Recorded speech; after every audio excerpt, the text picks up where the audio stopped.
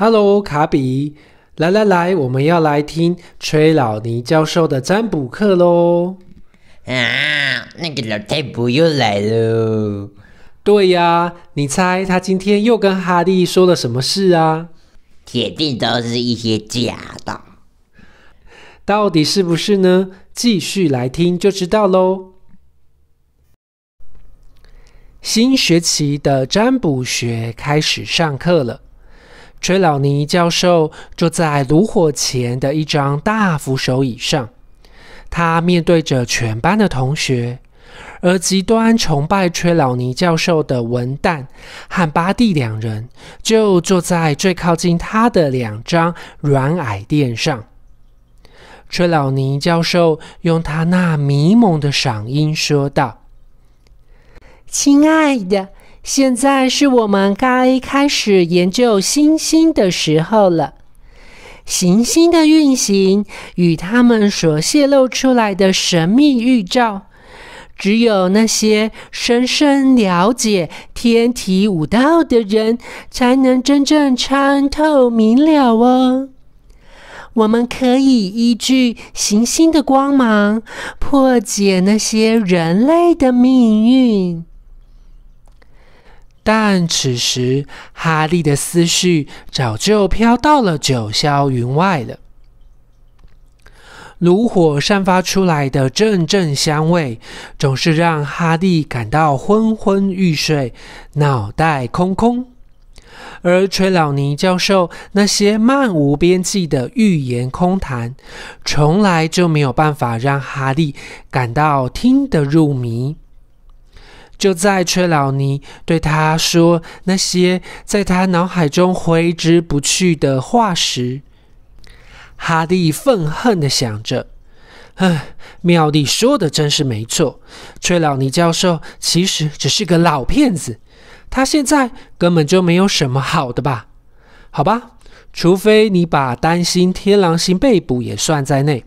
但其实崔老尼教授又知道些什么？”他早在好久以前就得到了一个结论：他所谓的预言，事实上只不过就是瞎猫碰到死耗子的胡乱猜测，另外再加上一些故弄玄虚、虚张声势的伎俩罢了。不过，崔老尼教授在上学期末做出的预言却是例外。他那一次说伏地魔会东山再起的预言，可是准呢。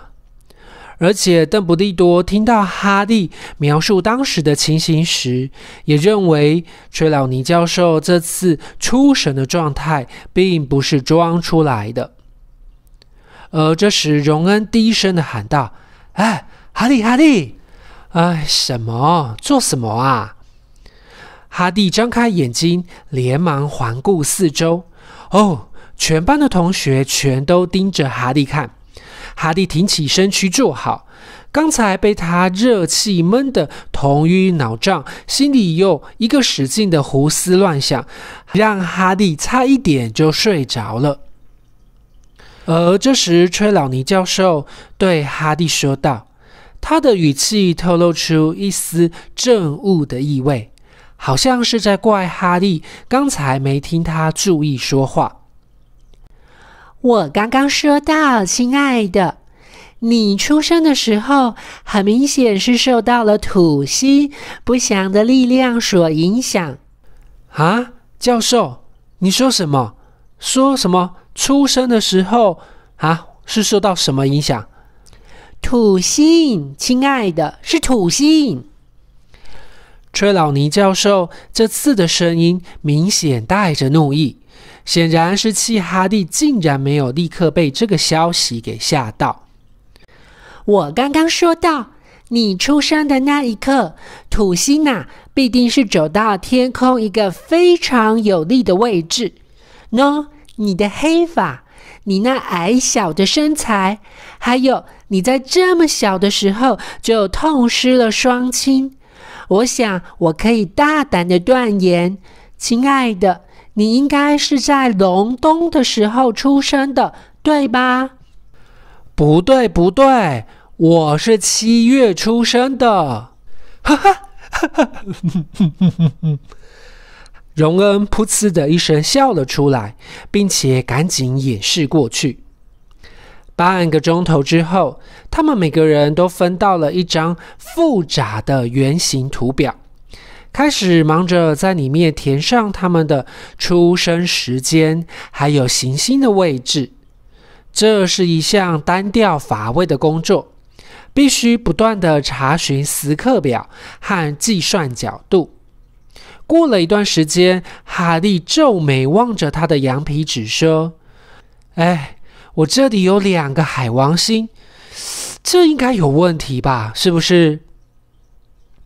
而荣恩模仿吹老尼教授神秘兮兮的语调说：“啊啊！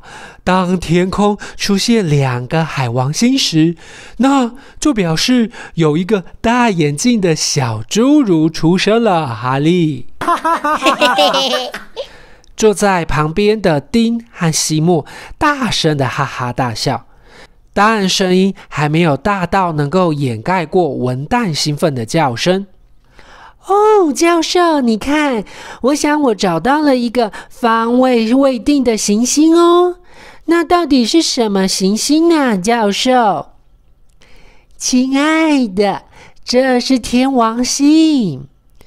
崔老尼教授凝神望着图表，说道：“哎，那能不能让我也见识一下那颗天王星呢？”文旦非常不幸的，荣恩的话全被崔老尼教授听到了，这让他气得在下课前开给他一大堆作业，回去根据你们的行星图表写一份报告。详细分析接下来一个月中行星的运行位置，将会对你们自己造成什么样的影响？我要你们在星期一准时交过来，不准找借口拖延时间，听到了吗？只见崔老尼教授厉声的喝道，声音异于他平常那种仙女般飘飘然的嗓音。反倒是比较像是麦教授严厉的口吻。然后荣恩在他们随着人潮一起下楼到餐厅吃晚餐的时候，怨恨的说道：“可恶的老蝙蝠啊！那得花上一整个周末的时间才写得完呐！哦，一整个周末哎，怎么样？”作业太多了吗？麦朵教授可是根本没有给我们出作业哦。妙丽这时赶到他们的身边，愉快的说道：“是是是，麦朵教授真是好的不得了，好吧？”接着，他们走到了入口大厅。这时，大厅中已经挤满了人潮，大家正排队准备要去吃晚餐。他们呐，才走到队伍的最后面排好，背后就传来一个响亮的嗓音：“嗨，威斯里！哎，威斯里！”哈利、荣恩和妙丽这时转头过来，见到马粪、克拉和高尔站在那里，他们全都露出了开心的表情，显然是有件事情让他们高兴的要命。干嘛？荣恩不耐烦的回答。只见马粪手里挥舞着一份《预言家日报》，并且故意扯着喉咙喊道：“好让入口大厅里所有的人都听见了。”“哎，你爸上报纸喽，卫斯理！来来来，听听这个。魔法部一错再错。”魔法部的麻烦似乎没完没了。本报特约记者丽塔史基报道：魔法部最近才因魁地奇世界杯时所表现出来的拙劣群众控制能力而饱受批评。同时，他们至今依然未能对那一名女巫失踪事件提出任何合理的解释。也遭受到舆论的猛烈炮火攻击，而就在昨天，魔法部又因其麻瓜人工制品滥用局职员阿诺·威斯里的古怪行径而陷入新的窘境。说到这里，马粪抬起头来，然后扯着喉咙大声的说道：“哎！”你想想看，他们居然连你爸的名字都写错了，卫斯理。哎，他看起来简直就是个没人会理会的无名小卒嘛，是不是啊？哈哈哈哈哈哈！现在入口大厅里所有的人都全都注意在听他讲话，而马粪故意卖弄个姿势，把报纸摊平，再继续念下去。阿诺·卫斯理。在两年前，曾被控非法拥有一辆飞车。昨天，他又涉嫌为了几个具有高度攻击性的垃圾桶，而与数名麻瓜的执法者，就是警察，争执扭打。卫斯理先生显然是为了援助疯眼穆迪，才赶到出事的现场。这位年老的前蒸汽师，当年之所以会从魔法部退休，是因为他呀再也分辨不出别人究竟是要跟他握手，还是要意图谋害他的性命。可想而知，当卫斯理先生到达穆迪先生防护严密的屋子时，他随即发现。穆迪先生这次又是疑神疑鬼的虚惊一场，而威斯理先生必须先施咒修改那些麻瓜警察的记忆，才能侥幸脱身。然而，当《预言家日报》的记者询问他为什么要让魔法部涉入这种有失庄重且稍有不慎就可能颜面尽失的事件时，卫斯理先生却拒绝回答任何问题。然后，马粪把报纸翻过来，举到了空中，说道：“而且啊，他还登了张照片呢，卫斯理。”一张你父母亲站在你家房子面前的照片，哎，这玩意也配叫做房子？哎，你母亲怎么不去减减肥呀？听到这里，荣恩气得浑身打颤，而全部的人全都转头盯着他瞧。哈利这时愤怒地说：“够了，马粪！荣恩，别理他，别理他。”但接着，马粪嘲笑着说：“哦，对了，哈利，你今年暑假不是住在他们家吗？那你告诉我，他母亲真的是长这个肥猪模样吗？还是这张照片照的不好啊？”哈哈哈哈哈！而这时，哈利反唇相讥的说：“那你的母亲呢，马粪？”他脸上的那种表情，就像是鼻子下挂了坨大便似的。他一直都是这副鬼脸，还是只有跟你在一起的时候才会做出这种怪相啊？而这时，马粪那苍白的脸顿时一阵红，然后大声的吼道：“不准你羞辱我母亲，波特！那你就给我闭上你的臭嘴！”哈蒂说完，随即转过身去。他和妙丽两人都不约而同地从背后抓住荣恩的长袍，不让荣恩扑过去找马粪算账。突然间，嘣的一声，哈利感觉到有某个白白热热的东西插过了他的脸颊。他连忙伸手探进了他的长袍去找他的魔杖，但哈利连摸都还没摸到，接着又是嘣的一声，一阵回音袅袅的怒吼响遍了整个大厅。你好大的狗胆啊，小子！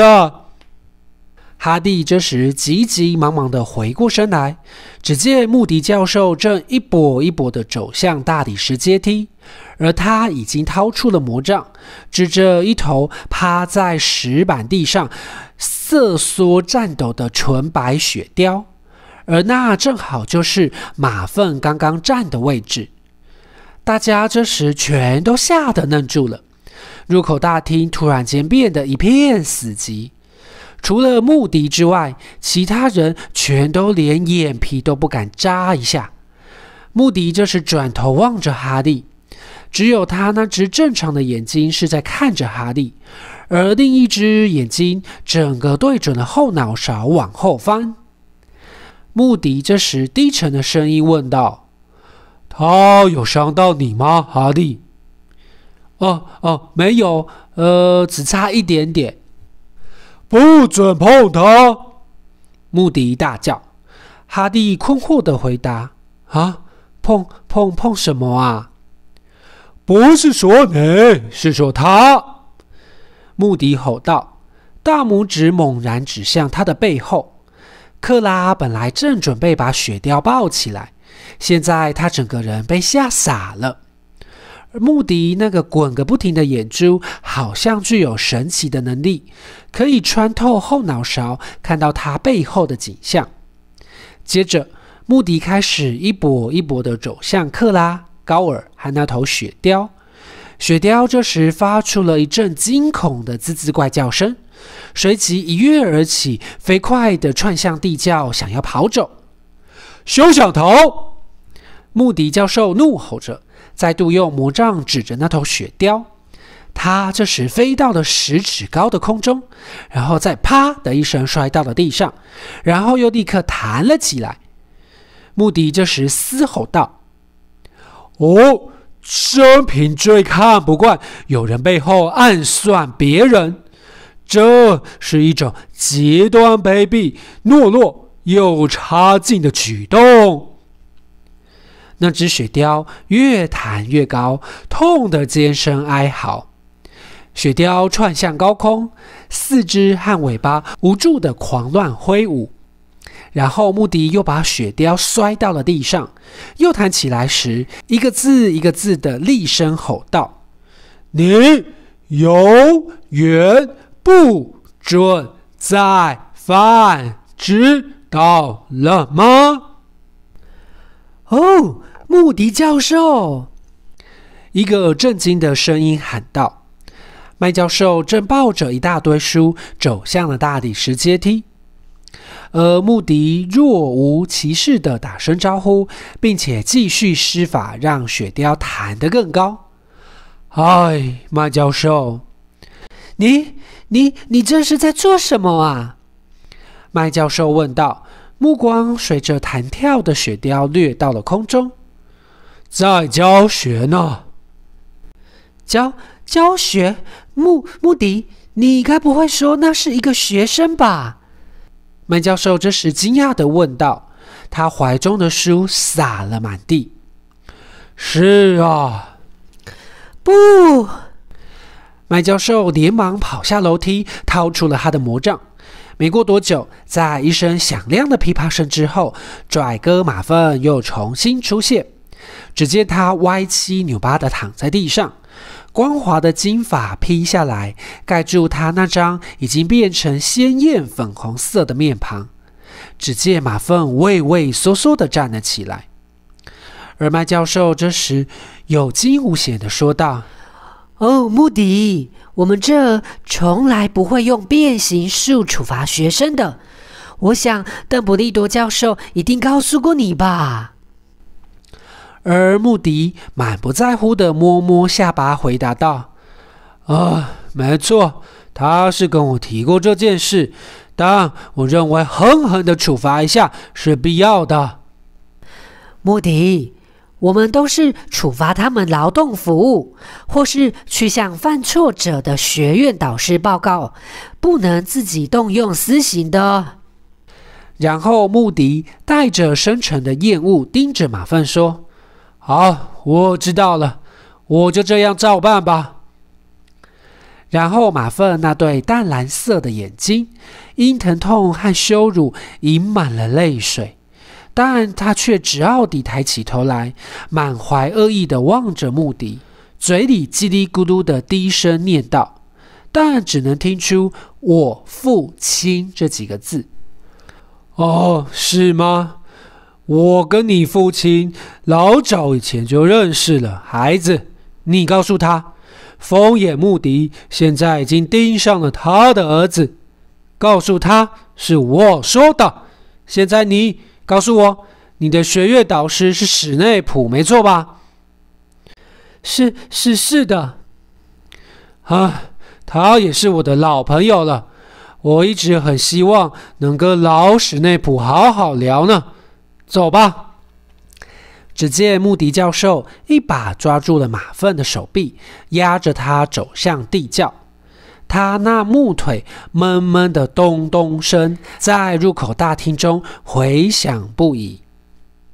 然后麦教授用担忧的表情凝视他们的背影。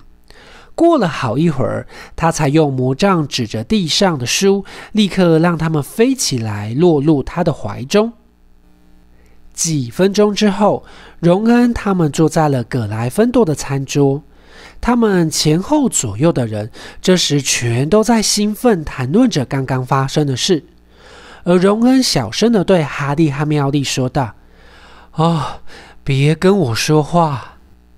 为什么呢？因为啊，我想把这一幕牢牢的记在我的脑海里，永远不要忘记。”拽哥马粪，哎，神奇的弹跳雪雕。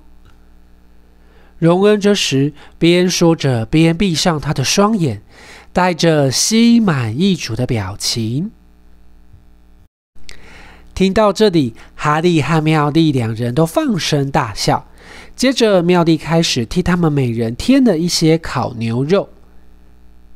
但他刚才可能真的会伤到马粪呢，所以麦教授才要出面阻止啊！这可以算是一件好事呢。